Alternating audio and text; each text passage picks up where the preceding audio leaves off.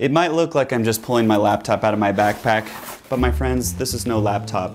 This is actually an electric vehicle, and it's called the Walk Car, maybe my favorite product name of all time. Let's check it out.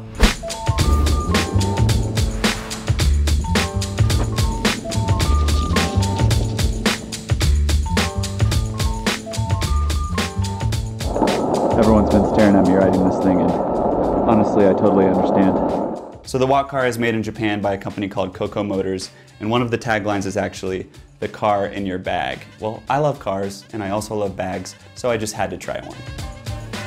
And once you pull it out of the bag, the first two things you notice are that it's really small, and it seems like it's built really well. There's no screw holes to be seen anywhere. We got some carbon fiber action here. It's got this really nice handle. And then you think, hmm, for an electric vehicle, those sure look like desk chair wheels. And then you start thinking about standing on this little platform and going fast, and you start to get a little nervous. There it is. It operates similar to a one wheel. There's four sensors on the top of the platform, and once your feet are touching all four sensors, then the board will begin to move forward. It's got three speeds represented by these LED lights here. The top one maxed out about 10 miles per hour. And it doesn't sound that fast, but when you're standing kind of awkward skier style forward on this thing, 10 miles an hour ends up feeling kind of fast. You get used to turning after a while. It's mostly just shifting your weight in the direction you want to go. It's not as intuitive as a one wheel or like the first time I tried a hoverboard I was kind of blown away because the board seemed to turn in the exact direction I wanted it to without me feeling like I was actually doing it, like it was some sort of Jedi mind trick. You don't really get that here. You really got to think about where to put your weight to turn it.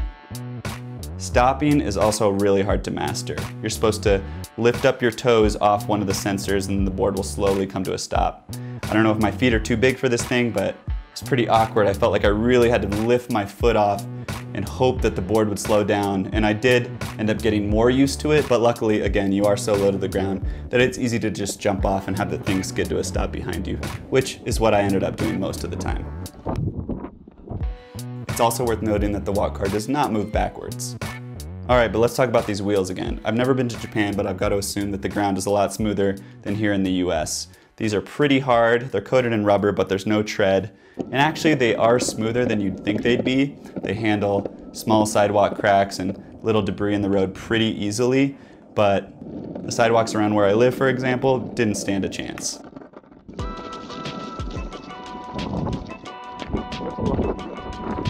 Bad idea.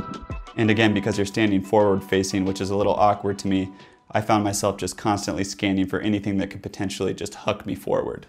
But when you do take the walk car to somewhere with smooth ground and no stop signs and no traffic, it's pretty fun to ride. It actually does feel like you're zooming around on a little laptop. As you can see, it's pretty hard to look cool while you're riding it.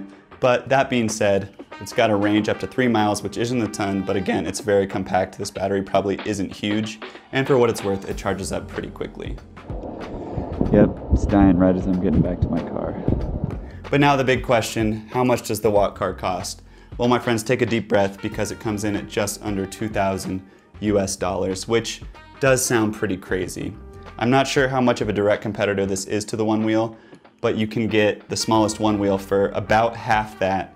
It's got a big go-kart tire that you can take off-road, it goes a lot faster, and it's about double the range. So the Walk Car is a bit silly, but I gotta give the folks at Cocoa Motors some props for at least trying something different. I think your needs gotta be pretty niche to want something like this, but I can think of a few. Maybe you have a commute that involves a mile long subway transfer and you just pull this out of your bag, set it down, and then while all those drones are merely walking, you can just glide past them walk carring instead. So that's gonna do it. What do you think of the walk car? Will it fit in your bag? That's the big question. Thanks so much for watching, and as always, be excellent to each other.